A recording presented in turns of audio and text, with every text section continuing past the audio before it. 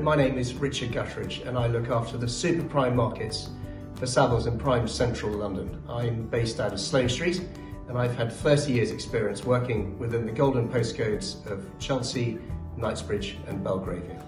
Within my role, there's certainly no two days the same. We see such a wide range of property from small apartments to large residences.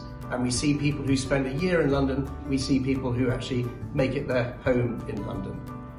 Last year, we saw the resilience of the resident who's already based in London. There were 12% more deals over £5 million, taking the total to just shy of 350. Figures last seen in 2016. The major landlords of Belgravia and Knightsbridge have been very fixed on creating modern, friendly and family spaces.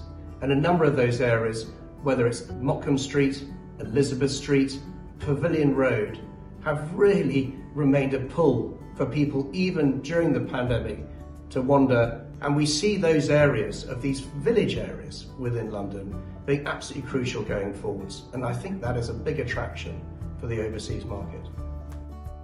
Indicators already show in 2021 that transactions are up by 19% over 2020. And this, I think, should give people real confidence they're not alone in believing that London really does look like a good buy.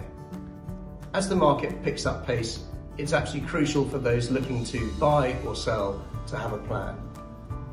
For those existing and new contacts, we would welcome the opportunity to help you with your, with your plans ahead. Uh, if you have any questions, please do not hesitate to contact myself or any of the team, and you can follow us through the Savills social media channels.